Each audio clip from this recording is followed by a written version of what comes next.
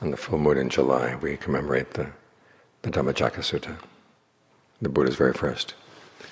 And at the end of that sutta, one of the five brethren gained the Dhamma eye. And the story goes that in the succeeding days, the Buddha taught the remaining ones to gain the Dhamma eye. We don't know what Dhamma he taught them. And then at some point, he taught them the sutta on not self. So it's about this time of the year. So it's good to think about it. It starts out with the Buddha saying that form, feeling, perceptions, fabrications, consciousness are not self.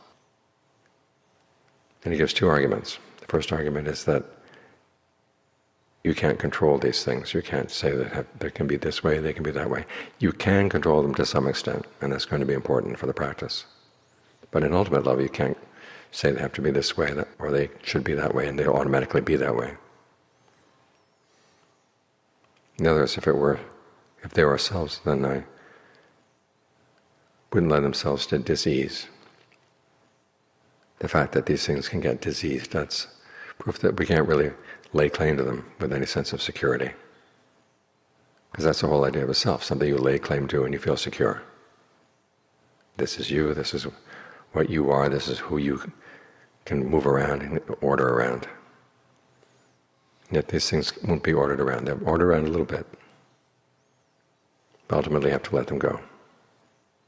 The whole purpose of this is to get you to something better. If there were nothing better, then you hold on to what you got.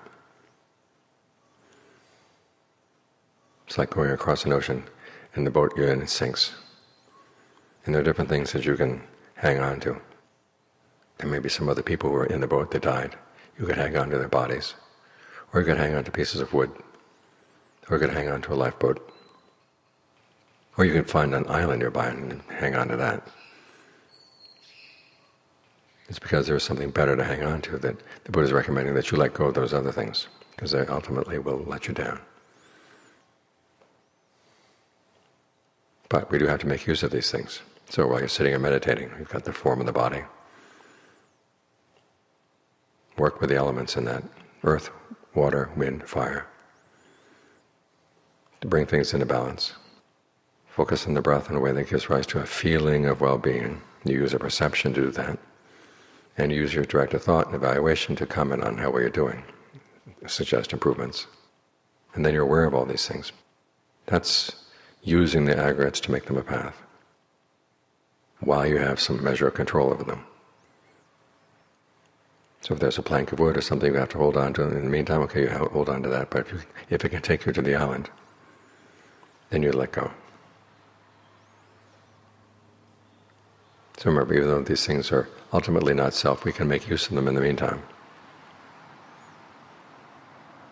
We can make a path out of them, bring knowledge to these processes.